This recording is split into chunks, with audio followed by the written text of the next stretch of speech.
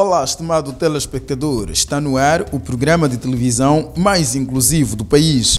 Saiba nesta edição como a senhora Ana Monjane superou as barreiras impostas pela deficiência auditiva para frequentar um curso superior. Acompanhe também como um parque inclusivo proporciona alegria a crianças com deficiência. Celebrou-se a 23 de setembro o Dia Internacional da Língua de Sinais. Para marcar a data, trazemos um exemplo de superação. A história da senhora Ana Monjane. Ela adquiriu a deficiência na juventude, superou todas as barreiras impostas e frequentou um curso superior. Hoje é professora na escola especial na cidade da Beira. Fiquei surda depois de ter estado de baixa no hospital. Cumpri a medicação, mas não melhorei e o médico ordenou que permanecesse hospitalizada. Fiquei mais três semanas no hospital. Continuei a medicação, mas não melhorei e fiquei surda.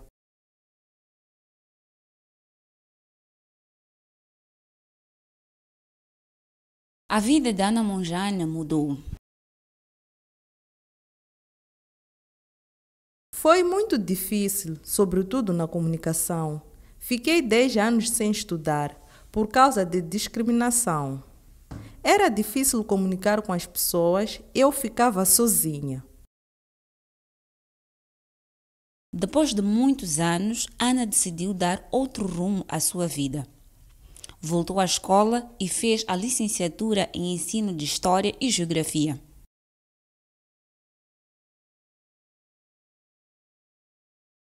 Cheguei à escola especial e receberam-me bem. Comecei a aprender a língua de sinais, estudei com crianças.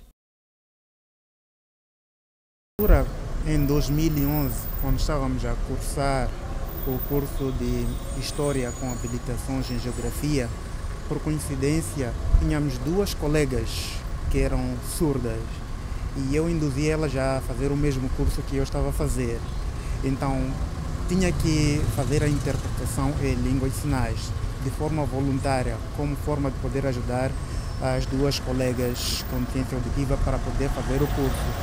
Porque no princípio. E como a língua de sinais melhorou a vida de Ana Monjane?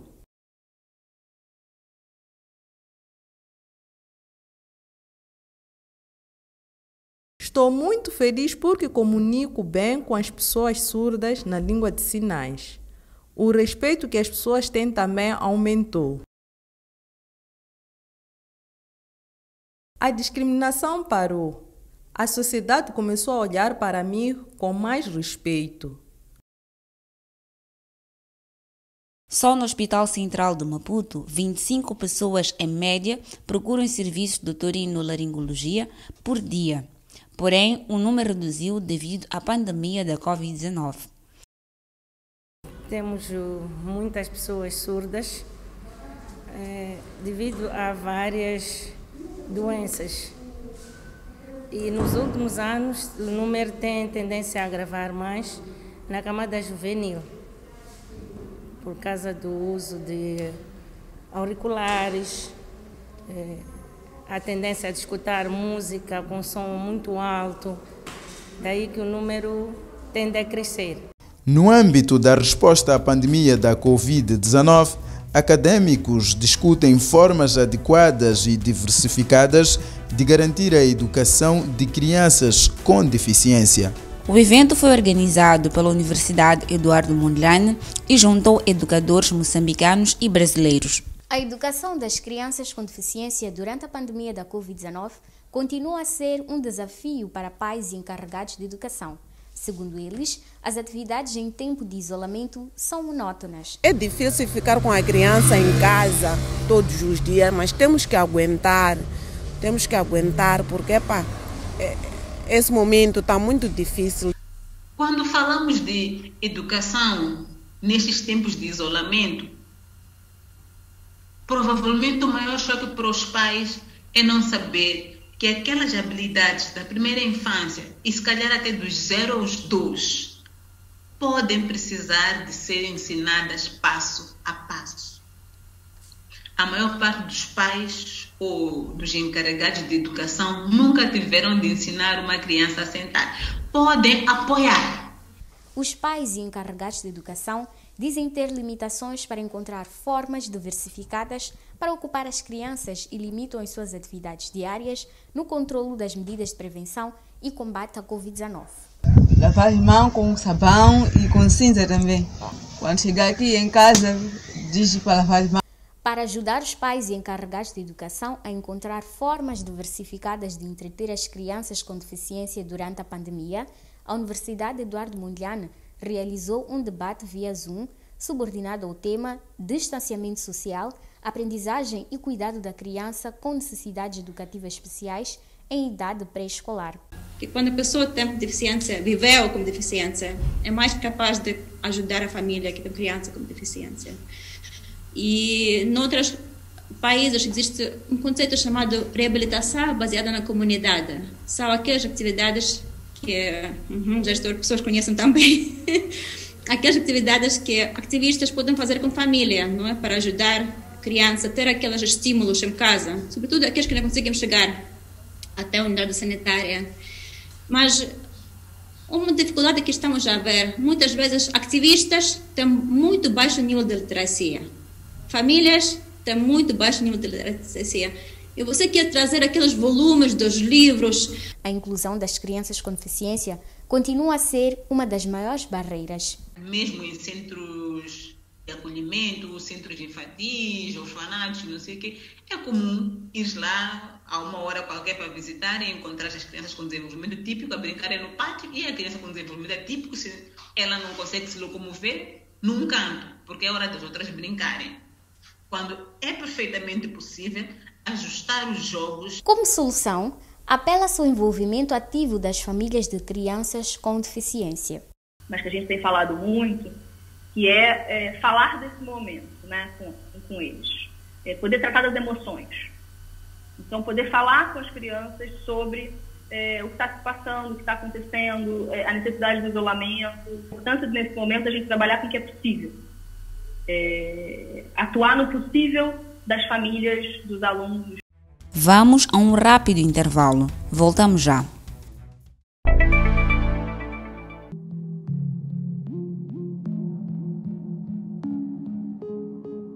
Os passageiros com deficiência podem precisar de apoio adicional para entrar e sair da viatura. Para apoiar um passageiro com deficiência, o cobrador ou outra pessoa de apoio devem primeiro perguntar se o mesmo precisa de apoio.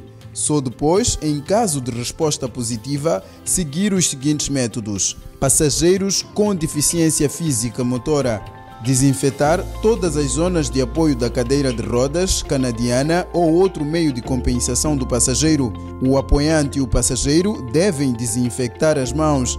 Ambos devem usar máscara de proteção enquanto todo o processo de apoio acontece. Ao passageiro com deficiência visual, após perguntar se necessita de ajuda e desinfetar as mãos, evite apoiá-lo pelas mãos. Direcione-o ao seu lugar, tocando-o pelo ombro ou segurando o seu antebraço. Para os passageiros com deficiência auditiva, cole no transporte público um cartaz com linguagem clara que indica todo o processo de desinfecção e segurança.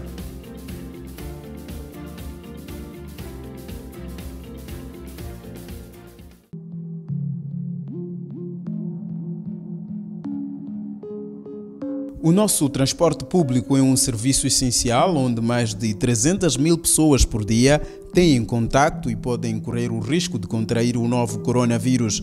As cooperativas e empresas municipais de transporte público devem tomar as medidas já anunciadas pelo governo, redobrar os cuidados de higiene individuais e coletivas e adotar outras mais específicas do ramo do transporte público de passageiros. Como medida geral, todos devem ter presente as regras básicas de higiene pessoal e coletiva, que incluem lavar as mãos na paragem ou terminal ou usar desinfetante para as mãos, cobrir a boca e o nariz com o braço dobrado em forma de V quando tossir ou expirar, ou usar toalhas de papel ou lenços individuais, evitar contactos entre pessoas, evitar tocar na cara sem lavar as mãos, viajar somente se necessário usar sempre máscara na paragem e nos transportes públicos. Porque se não fizermos isso, o Covid vai se alastrar nos autocarros e será de difícil controle. Apelamos a todos quanto viajam nos autocarros e os que trabalham nos autocarros para prevenir esta doença que está a acabar com as pessoas pelo mundo todo. Regras específicas para os transportadores. Os transportadores devem respeitar a lotação recomendada para cada tipo de viatura. As viaturas pequenas devem ter um máximo de 15 pessoas, sendo 3 em cada banco. Nas viaturas médias, com lotação de 26 lugares, devem estar todos sentados. Os autocarros devem levar até 70 pessoas no máximo, sendo todos os bancos ocupados e o resto das pessoas em pé. Os passageiros devem todos entrar pela porta da frente e sair pela porta de trás do autocarro, exceto os passageiros com deficiência físico-motora. Os cobradores não devem usar saliva nos dedos na entrega dos bilhetes e trocos aos passageiros. Os motoristas e os cobradores devem usar sempre uma máscara de proteção, cobrindo o nariz e a boca. O cobrador deve controlar o uso consistente da máscara pelos passageiros e não permitir a entrada daquele que não a tiver. Os motoristas devem levar consigo no transporte produtos de desinfecção pessoal e do transporte. O cobrador e o motorista devem lavar as mãos com água e sabão ou aplicar gel desinfetante a cada viagem.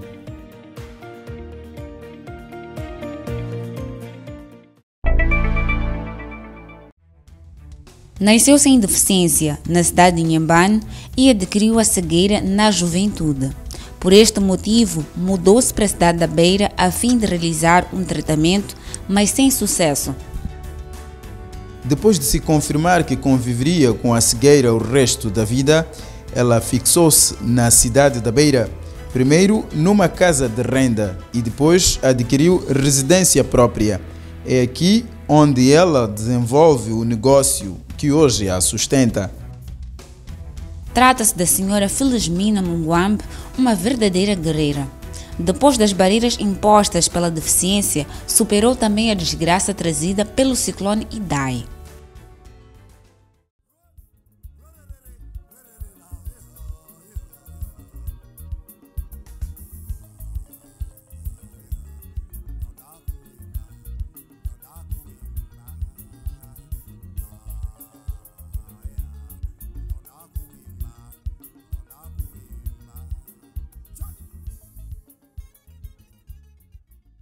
Passa mais de um ano depois que o ciclone Idai assolou a região centro do país, com mais incidência na cidade da Beira, onde deixou famílias em luto e sem abrigo. É o caso da senhora Felizmina Munguambi, residente na Praia Nova. Ela perdeu tudo. A vida sempre foi difícil, mas eu digo, antes de Idai, estava normal que eu tinha minhas rendas, tinha minha mercearia, que as, as casas para mim era a base de sustentabilidade, era um alicerce para mim. Que quando não desse bem a coisa, a mercearia, eu tinha que pegar meu dinheiro do que? das rendas e eu investia. Mas quando isso daí afetou as minhas casas, inclusive as casas de aluguel, todas foram abaixo. A coisa, a própria mercearia também, como pode ver, ainda está de qualquer maneira. Toda a mercadoria, tudo encheu água. O teto, saiu. A água também penetrou, tudo ficou de qualquer maneira. Quase que não. A senhora Felizmina conta como faz para recuperar os danos causados pelo ciclone Idai poder eu me reerguer, me reerguer, como pode-se dizer. Estou tentando até agora, ainda não terminei. Peguei o pouco dinheiro que eu tinha, tentei reerguer as casas primeiro. Como se não bastasse, tive que sair também pedir um, um empréstimo bancário. Então, tentei reerguer as, todas as minhas casas já estão reerguidas, assim como a minha própria habitação já está. Então, o que está em causa agora é tentar se as casas possam me dar um rendimento que é para ir até o de dezembro, se fosse aquilo que eu penso, que eu penso aquilo que se realiza, que exemplo que deveria reabrir a coisa mercearia. Mas porque o azar não vem só, é que o mundo é assolado pela pandemia da Covid-19 que levou todo o esforço abaixo. Muita, muita gente que, que aluga as nossas casas aqui são estudantes. Então, quando o coronavírus começou, muitos estudantes foram embora. As casas ficaram vazias. E as que têm pessoas, são pessoas que dependem de negócios. Negócios não andam. Você vai hoje, amanhã chega dia dele. Dia não temos nada mesmo. Não, e você mesmo acaba entendendo mesmo que eles não têm. Porque na altura, quando eles trabalhavam normalmente, não tinham problemas. Pagavam.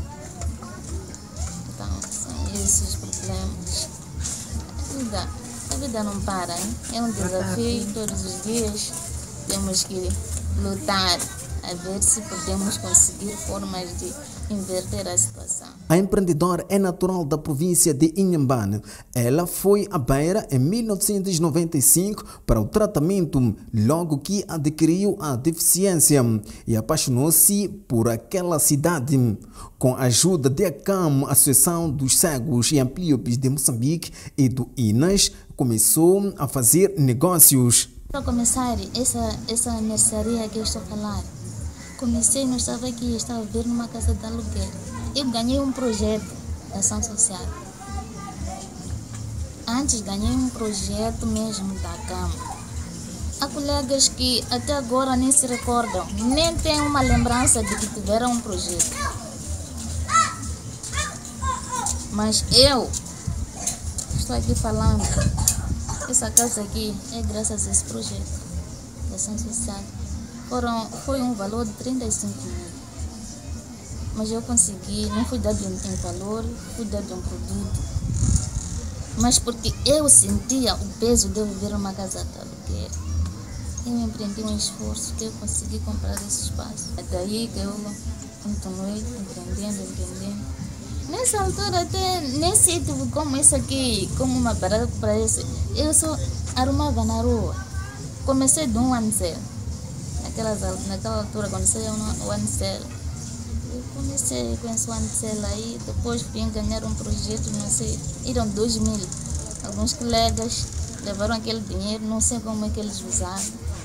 Mas eu até agora ainda tenho recordação. Ismina Munguambi apela às pessoas com deficiência a lutarem pelas possibilidades para quebrarem barreiras no acesso à educação e emprego. Mas as pessoas com deficiência temos que ser muito fortes. A vida nossa não está fácil. Há muitas barreiras, há muitos desafios, mas nós temos que lutar. Lutar para nós quebrarmos as barreiras.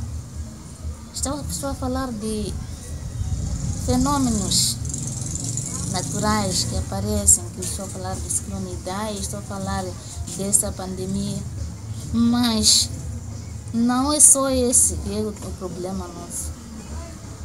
As próprias políticas do nosso país, a sociedade não nos entende. Então, nós não podemos estar aí a choramingar de um lado para o outro. Ah, porque o governo não ajuda. Ah, porque o vizinho não ajuda. Nós temos que lutar temos que evitar um esforço para que nós possamos sair. Dependência total, sairmos da dependência total é impossível para nós. É verdade que temos nossas, nossas limitações, mas temos que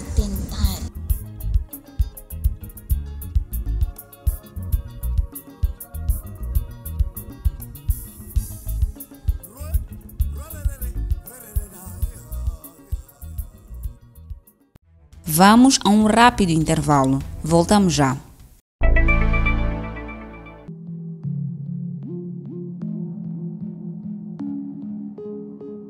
Os passageiros com deficiência podem precisar de apoio adicional para entrar e sair da viatura. Para apoiar um passageiro com deficiência, o cobrador ou outra pessoa de apoio devem primeiro perguntar se o mesmo precisa de apoio Só depois, em caso de resposta positiva, seguir os seguintes métodos: passageiros com deficiência física motora, desinfetar todas as zonas de apoio da cadeira de rodas canadiana ou outro meio de compensação do passageiro. O apoiante e o passageiro devem desinfectar as mãos. Ambos devem usar máscara de proteção enquanto todo o processo de apoio acontece. Ao passageiro com deficiência visual, após perguntar se necessita de ajuda e desinfetar as mãos, evite apoiá-lo pelas mãos. Direcione-o ao seu lugar, tocando-o pelo ombro ou segurando o seu antebraço. Para os passageiros com deficiência auditiva, cole no transporte público um cartaz com linguagem clara que indica todo o processo de desinfecção e segurança.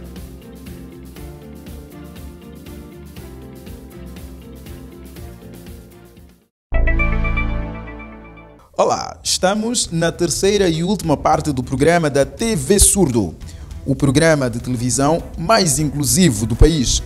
Neste bloco, trazemos um exemplo de inclusão social. Trata-se do Parque Infantil Dom Orion. Ele proporciona alegria a crianças sem olhar para sua condição física. Na peça a seguir, acompanhe como este parque funciona, numa reportagem conduzida pelo repórter Abdul Ibrahimo.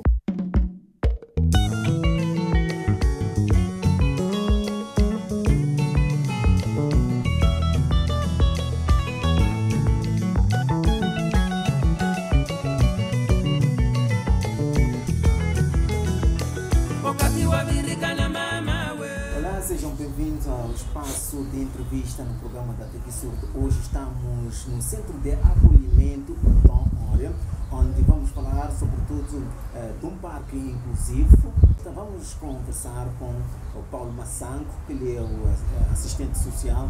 Uh, senhor Paulo, diga-nos porquê desta iniciativa de um parque inclusivo? É, em primeiro lugar, agradecer esta oportunidade de poder partilhar na televisão TV Surdo, não é? E falar do parque infantil inclusivo Anjo de Guarda, é assim que nós chamamos, daqui na Obra Dom Orion, é, é pela experiência de vivência, o nosso dia a dia dentro do centro com essas crianças com necessidades especiais. E percebemos que elas também mereciam alguma oportunidade de ter um parque em que estejam incluso todo aquele que poderia conviver com essas crianças. Então, é inclusivo porque tanto as crianças com deficiências e crianças que não são deficientes podem brincar dentro deste parque. Né? E não foi pensado um parque simplesmente pensando nas nossas crianças. Pensamos a todos. Até a coisa mais boa, os próprios cuidadores ou os adultos que acompanham as crianças podem também fazer parte deste nosso parque inclusivo. Não é? E nós, na altura, com as crianças, éramos convidados a a passar em alguns parques aqui na cidade de Maputo, mas praticamente os parques em que lá íamos, as crianças não, não conseguiam estar dentro daquilo que são atividades do parque, porque não era adaptado para poder acolher esta criança com, com deficiência, com esta criança que tem problema na postura física. E nós criamos este parque no sentido de acolher essas crianças. Estamos eh, num período da pandemia da Covid-19. Também estão, estão, estão eh, nas condições eh, de prevenção a, este, a esta, esta pandemia no recinto, neste caso, do parque? Antes das crianças e nós, os educadores, aceder ao parque, primeiro fizemos a desinfecção do sítio, não é? E que sempre tem que estar dentro esta responsabilidade que nós temos de não deixar o Covid-19 entrar dentro da casa. Há maior responsabilidade nisso. Não se pode aceder ao parque enquanto não foi desinfetado. Então, sempre fizemos quando vamos aceder e fizemos enquanto depois de usar o parque. Sempre obrigamos mesmo aquelas crianças que vêm por uma simples visita, usam o parque e nós desinfetamos sempre. É um exemplo, é um chamamento para as outras entidades um, a nível do país quando há esta necessidade de criar esse parque e olhar também as crianças com deficiência. deficiência. isso é, uma, é, um chamamento que pode ser replicado para os outros parques sejam inclusivos. Não? A ideia também é essa, de despertar um pouco a sociedade que tudo é possível fazer algo pensando na criança com deficiência, porque já penso que é um problema de base, porque a nível das famílias também vamos encontrar os espaços que não estão criados para poder acolher alguém que possa ter uma cadeira de roda ou possa aceder à própria sua casa com facilidade. Então, nós queremos mais uma vez mostrar que é possível. A gente passa de muito falando dos centros infantis, nível, vamos falar da cidade de Maputo ou de um outro canto do país. Não há condições no lugar em que as crianças brincam, criadas para essas crianças com necessidades especiais. Particularmente quando tem um, no centro eh, infantil uma criança com necessidade especial, fica assistente, não participa dentro desta, desta atividade. A coisa mais boa é que nós não quisemos, mais uma vez repito, que não quisemos fazer um parque exclusivamente para crianças com necessidade especial porque nós não estaríamos a, a, ser inclusivos. Então, nós somos inclusivos a todos, queremos que todos se sintam seguros e se sintam bem enquanto estiverem na diversão do parque. São Paulo, mesmo para terminar, últimas considerações. Apelamos a todos que tenham centros infantis, tenham um parque, que criem eh, lugares que possam ser de todos, não para ser de algumas pessoas. Nós despedimos com promessa de cá voltar daqui a sete dias e até lá. Vamos a mais uma aula de língua de sinais moçambicanos. Olá, bem-vindo à aula de língua de sinais de Moçambique. Porque muitas pessoas têm dificuldade para dizer língua de sinais, nós preparamos a aula de hoje para esclarecer esta dúvida. Língua de sinais. Língua de sinais de Moçambique. Vamos repetir juntos? Língua de sinais.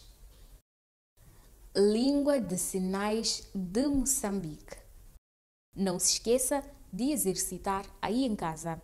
Até a próxima aula. Está tudo dito nesta edição do programa da TV Surdo.